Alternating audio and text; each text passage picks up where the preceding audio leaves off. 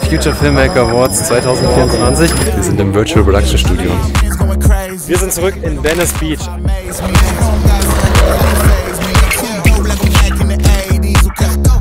Matti, it's a real pleasure for me meeting you here in LA. My biggest advice to any filmmaker is to. My advice for future filmmakers is I think everybody's looking for some like secret answer. My advice for young filmmakers would be On to the next one. On, on to the, on to the next one. On, on, on to the next one.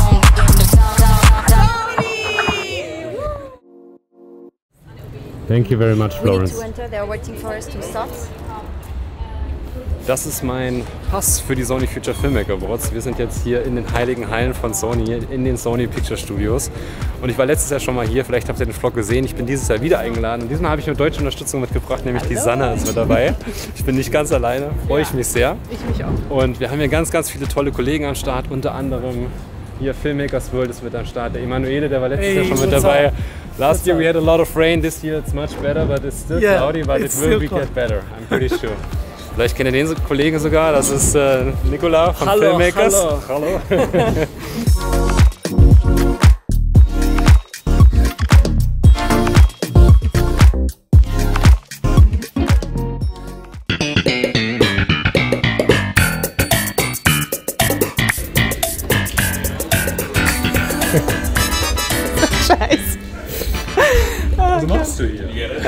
Ich mach Seinfeld.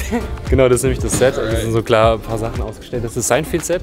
Und hier ist natürlich meine, meine Welt, Breaking Bad. Wir kommen gleich noch zum Bus, den habe ich letztes Jahr ja schon gesehen. Schaut euch mal die Deckenhöhe an. Das sind ungefähr so 15, 16 Meter. Ich glaube, da kann man ganz gut Licht aufbauen. Und das ist auch der Grund. Hier werden nämlich die ganzen Sets für Hollywood aufgebaut und teilweise sind da ja auch Stuntszenen dabei und sowas und da braucht man auch die Deckenhöhe. Das ist schon echt krass, wie viele von diesen Sets hier rumstehen, beziehungsweise wie viele Stages es gibt und wie viele Stages auch gerade in Benutzung sind, wo halt auch gedreht wird. Wir haben leider nicht Access zu allen, weil natürlich dort, wo gedreht wird, das Ganze teilweise geheim ist. Das sind natürlich auch Schauspieler, die bekannt sind. Deswegen wird das dann alles ein bisschen ähm, ja, geheim gehalten sozusagen. Und so sieht das innen aus. Hier wird gerade ein neues Set vorbereitet. Also sehr viel Holz, könnte auch eine Schreinerei sein. Aber hier entsteht tatsächlich ein nächstes Set für irgendeinen nächsten großen Hollywood-Film. Ziemlich krass, was hier so gebaut wird. James, excited to be here? Hell yeah. How could you not be excited to be here? This is class. The size of some of these sets as well, mate. It's gorgeous. So, wir haben wieder ein relativ straffes Programm und sind jetzt auf dem Weg zu den Engineers, zu den Sony Engineers. Und da haben wir die Möglichkeit, wieder Feedback zu äußern, was dann in der nächsten Kamerageneration umgesetzt wird. Und ein kleines Beispiel aus dem letzten Jahr. Wir haben uns gewünscht, einen variablen ND-Filter mit Active Stabilization und jeder meinte, das ist technisch nicht möglich. Und dieses Jahr kam die Burano raus und wir wissen, es ist möglich. Und das ist halt ziemlich cool, wenn du hier Feedback äußerst, dass es dann in der nächsten Generation tatsächlich zu sehen ist. Also mal gucken, wie die nächste Dream-Kamera aussieht. Ich habe einiges auf dem Zettel, ihr habt mir viel geschrieben und das werde ich jetzt den Engineers mitgeben.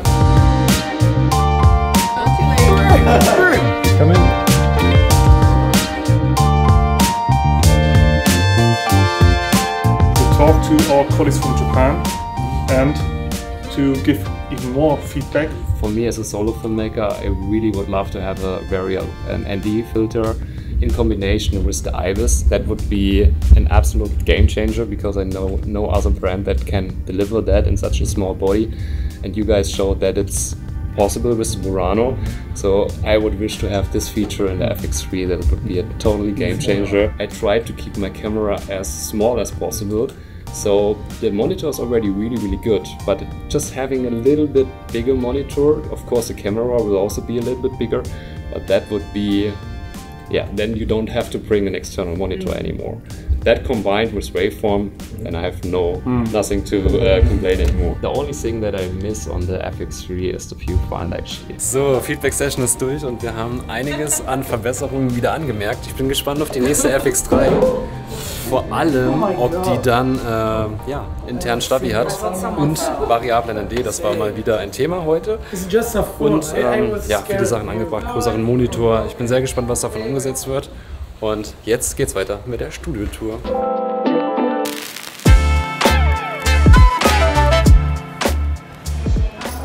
So, wir sind jetzt wieder am Flughafen angekommen in Los Angeles. Und unser Flug geht jetzt in zwei Stunden. Wir stehen hier schon am Gate. Leider schon vorbei. Ja, Es war so schön hier. es war sehr, sehr schön. Und für uns geht es jetzt nach Hause. Wir sind im Virtual Production Studio.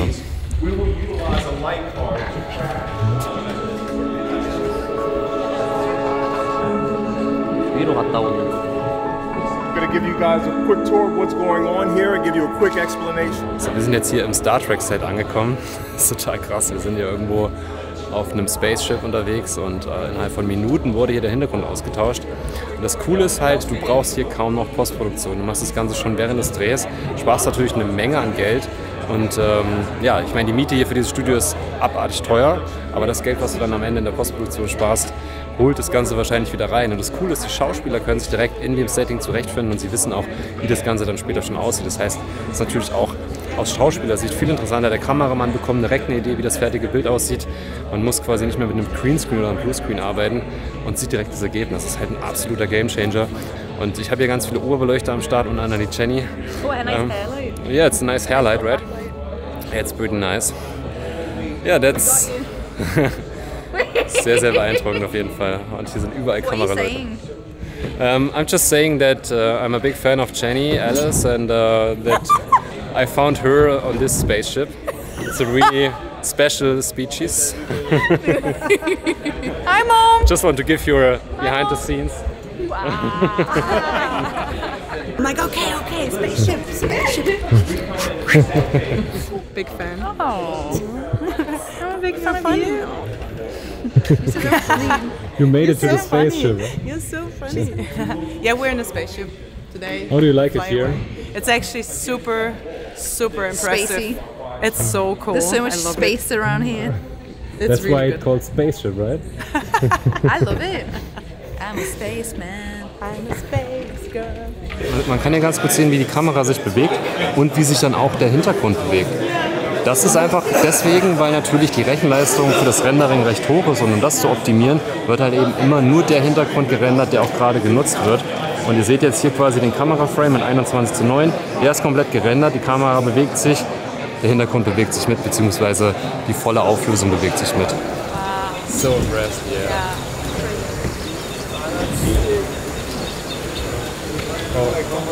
Yeah, Lara Croft. Indiana Jones is here. So, wir sind jetzt bei der DOP-Konferenz und hier vorne werden gleich zwei hochkarätige DOPs sprechen. Bin ich sehr gespannt drauf, was wir da noch mitnehmen können. Es ist einfach mega krass, was hier für Leute am Start sind. Also wirklich Hollywood-DOPs und auch YouTuber. Welche genau, zeige ich euch jetzt. Jetzt habe ich jemanden getroffen, den ich sehr bewundere. Ich bin lange Zeit schon Follower von Matty.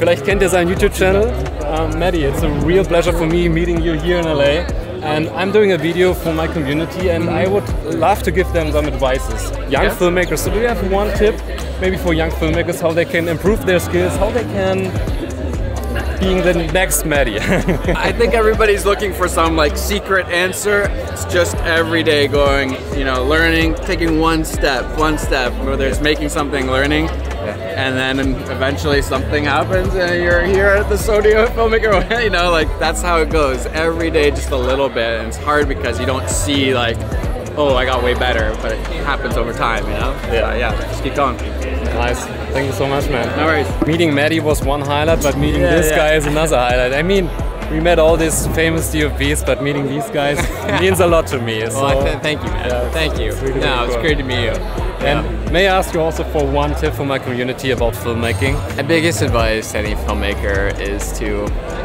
just forget about all the cameras, forget about all the advice.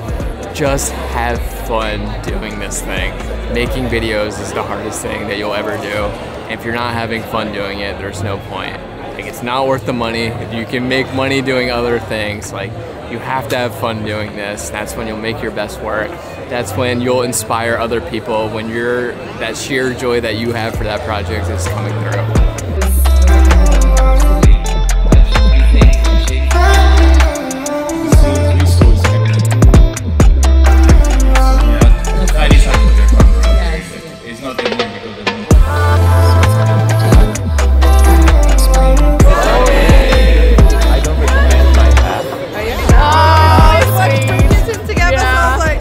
Advice for future filmmakers is that you really just have to get your hands on anything and everything that you can shoot. It's just so you can practice. You got to get those 10,000 hours of practice in order to call yourself an expert. And really going into any project, you got to have the right attitude. You just never know where that break might come from. You never know when you do that one little day on a job who might notice you and who may give you that opportunity in the future. So always go in with 110% and with a really positive attitude, and hopefully that'll pay off. If you're a filmmaker, keep trying. Every day. Viele Grüße aus Downtown LA. Wir sind jetzt hier gerade in der Cinema Make-up School und hier werden die nächsten Hollywood Make-up Artists geformt und die Leute, die hier lernen, sind dann meistens in Hollywood am Set und machen dann halt eben Masken oder schminken Wunden. Also mega spannendes Thema und äh, wir haben so eine kleine Einführung bekommen, wie das Ganze heute abläuft.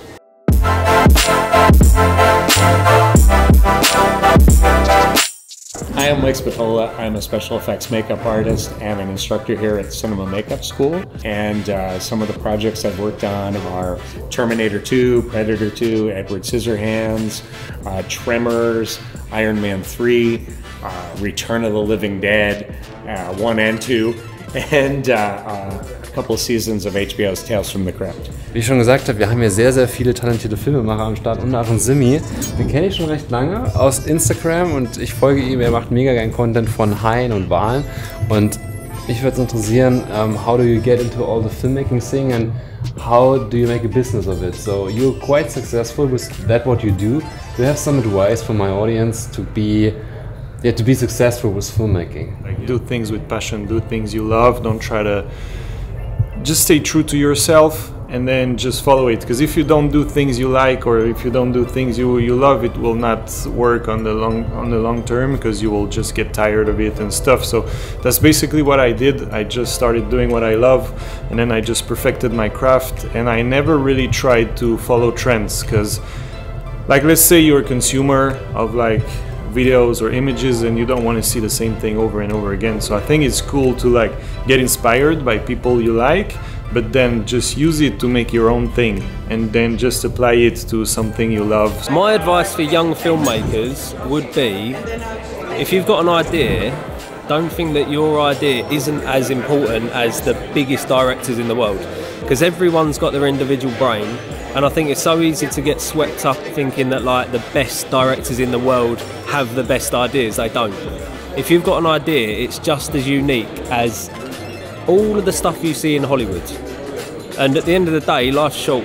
And if you don't make them ideas that are your ideas, you're going to make someone else's ideas, and that ain't a life, in my opinion. So whether it turns out great and other people appreciate it or not, that's irrelevant. If you're making a piece of content or you're telling a story that matters to you, that's all that matters. Because it's your life at the end of the day. Don't live someone else's life. Live your life and make your own stories. Wir sind zurück in Venice Beach. Ein Jahr später, endlich mal mit Sonne. Beim letzten Mal hat es aus Eimern geregnet. It's going great. Sebastian, Venice Beach bei Sonne, dass wir das noch erleben dürfen. Ich bin hin und weg. Ich, ich glaube, wir sind immer noch im Virtual Production Studio. Ich glaube, das ist nicht real. Das kann nicht echt das sein. kann nicht echt Das sein. kann nicht echt sein.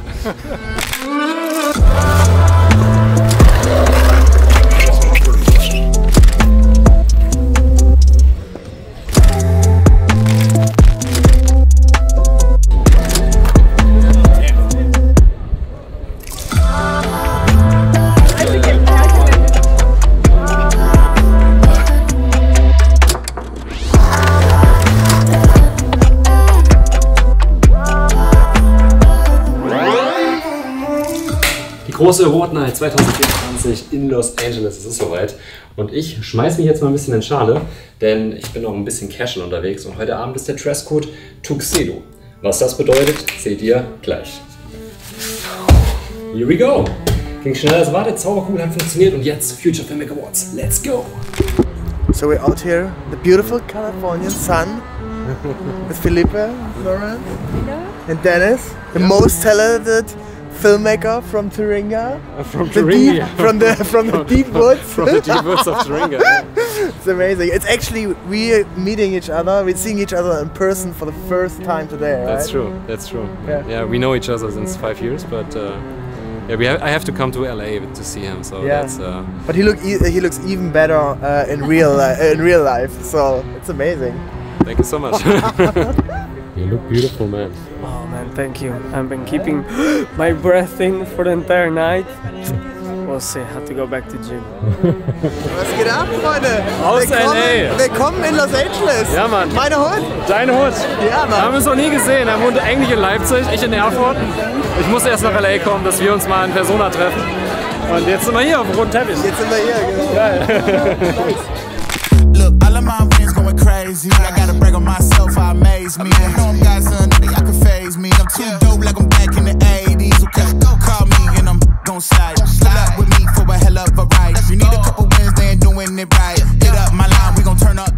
Schöne an den Awards hier ist, man trifft wirklich Leute, die sehr lange schon im Business sind und vor allem auch krasse Sachen gemacht haben. Unter anderem Kate. Sie hat Game of Thrones. You should Game of Thrones, right? A little, yeah, some of it. Some of it. So, do you have an advice for these people? How can I get a step into Hollywood? Is it difficult or do you have a tip maybe? I think, I think, um, I mean, I think the most important thing is to, you know, start making work, find people that you enjoy working with, um, and you know, keep doing, like, find your passion and the people that you can do that with, and hopefully that will lead to good work. And I think that now there's so much opportunity through social media uh, for when you for your work to be seen by a really big audience. So if you do strong work, hopefully it'll connect with people. Someone will see it, and it'll lead to the next step. So I think it's about. There's. I don't think many people have a huge like breakthrough moment. I think usually there's been a lot of small steps that have taken them to that point where suddenly everyone goes, "Oh my God!" Like you've just, you know, you're everywhere.